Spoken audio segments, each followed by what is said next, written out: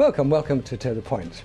Uh, today, uh, it's just me today, uh, we're going to be talking about the amazing power of God.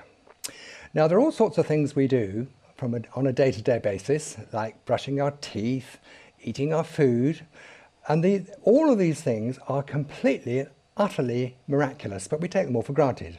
Now, I've called this program Watching TV is a Miracle. I could have said dusting is a miracle, washing up is a miracle, driving a car is a miracle, or anything else. But virtually everything we do is a miracle, but we take it all for granted. So what I'm going to do now is show you uh, how God works this, um, these miracles. Uh, basically, they all work in a similar sort of way. So although I'm right now going to address watching TV as a miracle, just remember it applies to walking, standing, sitting, running, uh, kicking a football, talking, thinking, speaking. Everything we do is all miraculous, all of it. And God is a super, super scientist. There's no question about it. He's absolutely unbelievably clever. Um, I've, got a, I've got a lot of pictures to show you. So I'm just going to whistle through the pictures. Um, and it, it's much easier to try and explain this sort of thing by showing you pictures than trying to explain it um, verbally. So if we just start with the first picture, which is just a picture of a family watching television. Now, all of us, um, we, we all get, um, you know, tied up with what size screen we've got and everything else, and whether it's 3D and you wear special glasses and all the rest of it.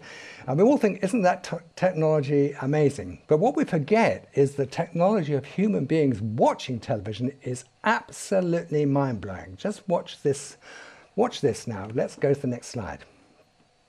It says, in the beginning was the Word, the Word was with God, and the Word was God. All things were created by him.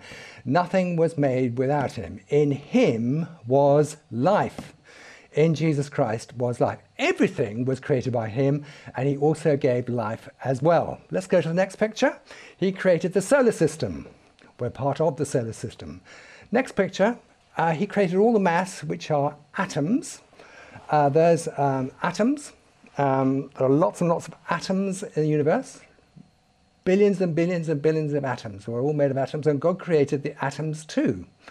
Next picture there is a picture of an atom. And just to show you just how extraordinary and miraculous it all is, there is a central nucleus, which is positively charged proton and a negative uh, a, a neutron with no charge, but around the outside are whizzing high-speed electrons with negative charges. Now those should implode they should actually implode so that the high-speed electrons around the outside, whizzing very fast, should implode into the positively charged protons in the same way as a north and a south mag magnet attracts. But it doesn't, and we're told in Hebrews 1, uh, that, verse 3, that the, the universe is upheld by the word of his command. Now, um, God prevents this collapse of the whole universe by the word of his command. So the fact that there is a mass at all is entirely a miracle in itself. Next picture. God said, let there be light. And when he said, let there be light, those are photons moving in a waveform. That's what a photon looks like. They're subatomic particles. Um, when God said, next picture, uh, let there be light, uh, we know through Einstein's law of relativity that energy equals mass times the square of the speed of light. Now, originally, God created the mass, uh, but when he said, let there be light, he created light, which at the same time created speed, which is a measure of time, and also energy. So that's when God created light and energy. And in our universe, uh, we have the source of all the energy, which is the sun. And let me tell you, the sun um, is the only place in the universe where nuclear uh, fusion happens, which is something totally, utterly miraculous. Just concentrate on that sun just for a second. We're very, we look at the sun and think, gosh, isn't that amazing? It is truly fantastic. Uh, if you look back to me just for a second, every second, 700,000 tons of hydrogen are converted into helium with 100% efficiency um, giving off all the energy for our universe. It is absolutely fantastic. Um, now we have, um, I think I've got a picture to show you, we have power stations and they are by comparison, virtually useless. Um, they use another technology called nuclear fission. Now, nuclear fission is, uh, was first discovered in 1945 when uh, Big Boy, the atomic bombs, were dropped on Hiroshima and Nagasaki. Uh, they are highly inefficient. One of the problems with nuclear power stations is they give off atomic, they leave behind a residue called atomic waste. And they don't know what to do with it. Um, they got this radioactive uranium depleted, so they put it into concrete uh, barrels and put it at the bottom of the sea and they just hope. they hope that um, it won't leak out uh, anytime soon.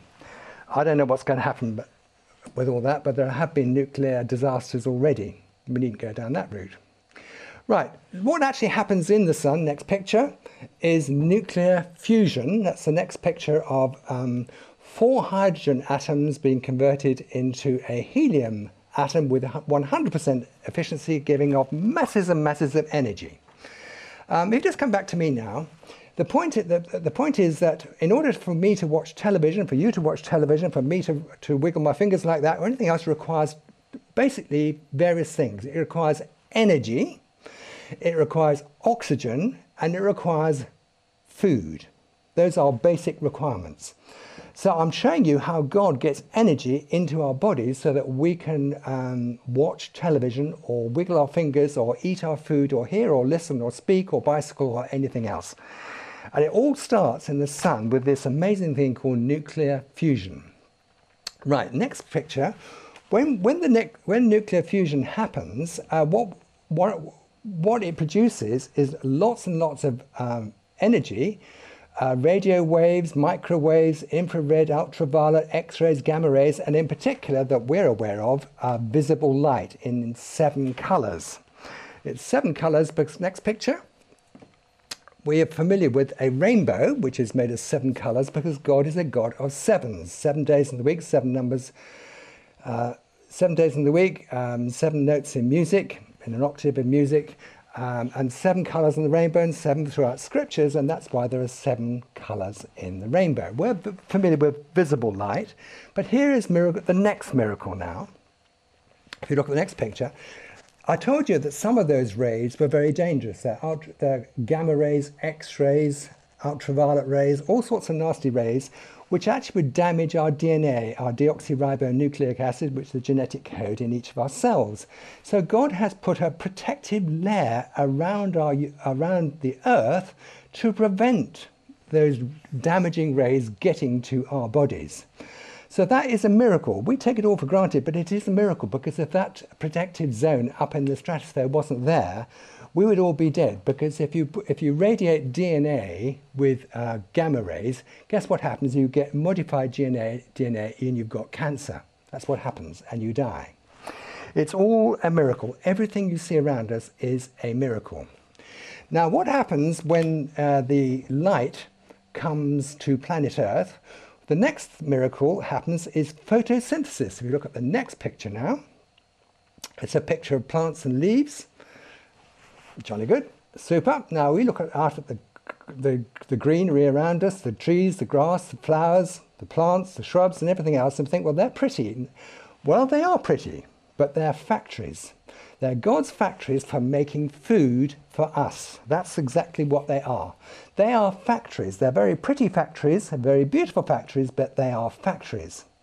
And those uh, plants, all of them, they have something which none of us can do uh, they trap sunlight and convert carbon dioxide and water into oxygen and food. Now, um, we try to do that with our um, photoelectric cells, which we put on top of roofs to catch the sunlight, and they are only 15% efficient. Um, I'm sure you're familiar with what I'm talking about, the the, the, the, photoelectric cells which we put on people's roofs to make electricity, they're only 15% efficient. Plants are 100% efficient. That's how efficient plants are. Let's move on and see how the plants do it. Well, they do it using a process called photosynthesis, which is totally, utterly, amazingly miraculous. In the presence of sunlight, uh, within the plants is a something called chlorophyll, which you've probably heard of, uh, and water and carbon dioxide is converted into oxygen for us because we need oxygen and food. In fact, without all the plants around, we wouldn't be able to live at all because uh, there wouldn't be any oxygen and there wouldn't be any food. What's more, we breathe out carbon dioxide as a waste product. And guess what? That's exactly what all the plants love. So God has created planet Earth with a, a symbiotic uh, process with human beings and animals and fish and birds and all living creatures breathing oxygen, but all the plants breathing in carbon dioxide and breathing out oxygen for us and all the animals and the plants and all the animals and the, and the birds and the fish, but also creating food for all of us. It's a complete miracle. Now that is a next picture, a rather complicated picture of um, photosynthesis again. We need to look at, oh, we've gone too far. Can we go back one? Sorry. There we are. That's the next picture. Um, now there is light and dark photosynthesis. Um, we, we needn't go into all the details right now. In fact, we haven't got, possibly got time. But let me tell you that photosynthesis is an unbelievably complicated. There's no way it could ever have happened by chance. It's one of the most miraculous and amazing uh, pieces of uh, biochemistry in the universe. Absolutely fantastic, and not a chance at all that could, that could ever have happened by chance. Next picture. So now we get to our human body. And in order for us to watch television, God has got to get, um, not got to, God has designed and planned the oxygen and the food to get into our bodies. So we're going to look now, first of all, at our lungs. And the oxygen comes in the air into our lungs, into, on the right, little sacs called alveoli. Now let me tell you that the, um, the, the, your lungs are about the same size as two tennis courts. And those uh, alveoli on the right, they would co collapse completely if there wasn't a special surfactant, a special chemical in them to prevent them collapsing. That is what a genius God is. Next picture.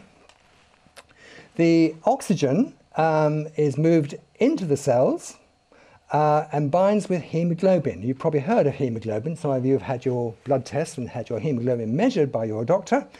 Now, hemoglobin is a totally, totally miraculous um, molecule. It's got iron in it, which is toxic for us, uh, but God doesn't permit it to become toxic because it's just there in exactly the right amount. And basically, this amazing hemoglobin, which we cannot manufacture, um, collects oxygen and, and, and takes it to all the different parts of our body. Next part, next one, is a picture of the circulatory system. That's the next picture. This is a highly, highly complicated uh, blood system in which uh, God moves the hemoglobin around the body using a special uh, pump called a heart with four valves in it. Very, very complex uh, piece of machinery. And uh, all of our body, all the living tissues in our body require oxygen. In fact, the brain uses 20% um, of the available energy. Let's look at the next picture. The next picture is a human brain and it uses 20% of the energy in terms of food and oxygen that is used by the whole of the body, human body. So um, if, you, uh, if you cut off, if you have a heart attack, um, basically you will lose consciousness very quickly if your heart stops pumping blood. In fact, if, you, if the brain stops receiving blood, that you'll become unconscious within four seconds. That's how sensitive your brain is to having regular oxygen. Uh, next picture. The next thing that uh, God has designed is our intestines to uh, get the food from the plants eh, and also the animals, because the animals eat the plants, um, into our blood via our intestines. Now there you can see a picture of the stomach and the large intestine and the small intestine. Um, you're familiar with probably with how food is moved through the body, but um, the, the, within the stomach, the stomach has a pH of 2, which is about the same acidity as um, battery, car battery acid, very, very acid to kill all the nasty bacteria, viruses, fungi, and all the other nasty things that come into our stomach. It's all killed dead almost straight away and broken down into, into little packages uh, suitable to be broken down. And let's look at the next picture which is a picture of the stomach with the pancreas right underneath it. And the pancreas has a very important function. The pancreas produces insulin, and I expect some of you have heard of insulin in the terms of diabetics. Well, insulin is a very, very important hormone which, which makes uh, which causes uh, sugar, blood glucose, to go into the cells. Now, what is not widely appreciated is that the blood sugar level is terribly, terribly important. If it goes too high or too low, we will get very, very ill. I used to be a medical doctor, some of you may know that. I used to run a, a diabetic clinic and looked after 300 diabetics. And the blood sugar level, it has to be between very, very narrow limits. If it goes too low, uh, you lose consciousness and start fitting. If it goes too high, you've got diabetes. Um, it has to be monitored, but in most people, um, it's uh, for, unless they become unwell with diabetes, it is the blood sugar is monitored very, very finely by the insulin produced by the pancreas. The whole process is totally miraculous. There's no way uh, at all it could have evolved by chance because it's got to be perfect immediately. Otherwise, the blood sugar would be uh, incorrect and the body would die instantly. So evolution is rubbish. I've said it on, the, on this program before. Evolution is complete and utter rubbish. Next picture. When the uh, food and the oxygen get into the cells, it gets into the power factories of the cells called the mitochondria. And we, here we have the complete miracle of the Krebs cycle. That's the next picture all medical students, uh, I went to medical school when I was 17, but all medical, all medical students have to learn the what's called the citric acid cycle or the Krebs cycle. We had to reproduce this during our uh, finals for the uh, physiology and biochemistry parts of the uh, medical course. Um, basically, it's what happens within each one of our 100 trillion cells in order to make energy. I'm not even going to attempt right now to explain it all to, to the only point I want to make to you, is it is totally, absolutely incredible and totally, totally supernatural. Absolutely super, supernatural. There's absolutely no way that could have evolved by chance. No way at all. Now, how do we listen to the television and hear the television? Well, first of all, we'll start with our hearing. You're familiar with uh, your, your little trumpets on two, two sides, so you can have stereoscopic um, hearing. Uh, those ears are carefully funneled so that the um, sound waves are compressed into your external auditory meatus. Next one. Actually, what is sound? Well, sound actually is compressed air which vibrates. Um, it's a longitudinal wave, if you like. As we speak, we compress the air. Uh, next one. Um, you're probably familiar with a tuning fork.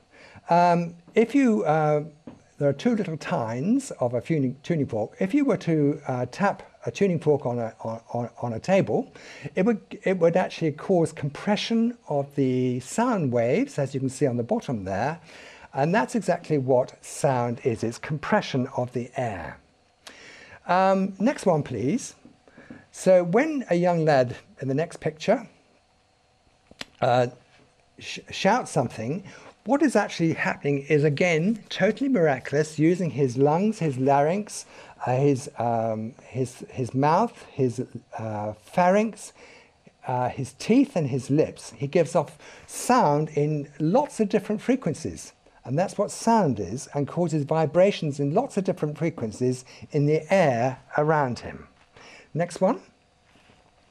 Uh, that is God's. Uh, that is picked up. That sound, that variation in the compression of the air, is picked up by God's miracle called the human ear. There are three parts of it: the outer ear, the middle ear, and the inner ear. Next one. The outer ear is specially designed like a trumpet to uh, get the sounds funneled into the middle ear. Uh, next one is a picture of the um, the eardrum, which is just like a drum, but it's very, very uh, highly more specialized than a drum. It's very sophisticated as the eardrum to pick up all the amplitudes and different sound waves. In the middle ear, which is the next picture, um, is connected to the eustachian tube. Your ear is connected to the back of your nose by a special uh, canal called the eustachian canal to keep the temperature the same, otherwise your hearing wouldn't work at all. Uh, next one. In your middle ear, you've got three tiny little bones called ossicles. They're the smallest bones in your body, and they have a particular function. Then in the next picture, uh, what they do is they uh, they act like um, levers and increase, uh, like a lever, the amplitude and variation of amplitude of the sound waves times 20. That's what they do. And the variation of uh, sound waves is transmitted to the inner ear uh, so that it can be collected by the next picture, what's called the cochlea. That's on the left there, looks like a snail. That's why it's called a cochlea, which is Latin for a snail. And within that uh, cochlea is the basilar membrane. Next one is that that's the nerve inside your ear which picks up all the variations in sound. Next one. Along the basilar membrane are lots of little cells. They're called hair cells of different lengths. And they work just like, the, in that picture there, they work just like um, a harp. So a particular frequency will cause a different uh, hair cell to vibrate. And next picture, those um, sounds are taken uh, by the auditory nerve to the, to the brain. Next picture. The next picture is a gyroscope because your ears, you actually balance with your ears, and that's really important. Even when you're watching television, that's really important to keep your head still. Next one. Uh, the next picture is to show you what the, uh, the balance part of your ear looks like. It's three semicircular canals. It's totally miraculous. There's no way it could possibly have evolved by chance. Next picture. And these uh, stimuli, uh, electrical stimuli, all taken to the brain with the, um, the electrical stimuli uh, from the eye. And we're just going to briefly look at the eye now. Next picture. Actually, those are neurons. Um, these are nerves, specialized nerve in your brain, and impulses travel along the nerve cells at 250 miles a, a second, really, really fast. It's super, super computer stuff, this is. Uh, next picture. There is a bank of NASA supercomputers. Let me tell you that your human brain is vastly, vastly uh, more complicated than a whole any any number of NASA supercomputers. Next one. All of these cells are designed by God using our DNA, our deoxyribonucleic acid, using the genetic code in all of our 100 trillion cells. Now we just lastly come to our eyes, which are miracles. There's no question they are miracles. What they do is they collect light. Next one, we, uh, light in seven colors comes to our eyes. Next picture, light is actually photons moving in a waveform created by God. And, there, and there's the next picture. There is an eye which is moved around by those muscles as you can see on the outside. Your, your eyes actually scan everything about a thousand times a second. They're far more sophisticated than any camera you've ever seen. Next picture. There is a picture of an, a, a, camera on the left and, a, and, a, human eye on the right. The one on the left is something like out of, out of, the, out of a Stone Age or something. The one on the right is the most sophisticated camera the world has ever seen. It's unbelievably complicated. Uh, there is a picture of a human eye. I unfortunately haven't got time to explain it all in detail. Next one. The eye keeps itself clean with, with special windscreen wipers. Next one, please. And the rays from that bicycle on the left are converged upside down on the retina or the back of the eye on the right hand side of that picture. Next one. So when we look at a car, the images are converted electronically in the back of our eye and the rods and the cones to the brain. Next one. There is the back of the eye. Absolutely amazing, totally amazing. Next one. Those are, those are the rods and the cones, they electronically convert um, light waves into electrical impulses. Now, if you just look at me now, what you've just been looking at is a very, very simplified uh, example of exactly how we can watch television. It is unbelievably complicated. Um, we take it all for granted, but can you see that it all started with nuclear fusion in the sun, it then moved on to the photosynthesis in the leaves, it then moved into our hemoglobin in our cells, it then moved to our brain, all amazingly complicated. Everything you see around you is totally, absolutely supernatural. Everything is created by God. Every single thing we do say, everything we think, is all using um, highly sophisticated um, chemistry, biochemistry, and chemistry, all created by God. Thank you for joining me on To The Point. Do write to us at To The Point at Revelation TV. We look forward to seeing you again next week. God bless you now and see you again soon.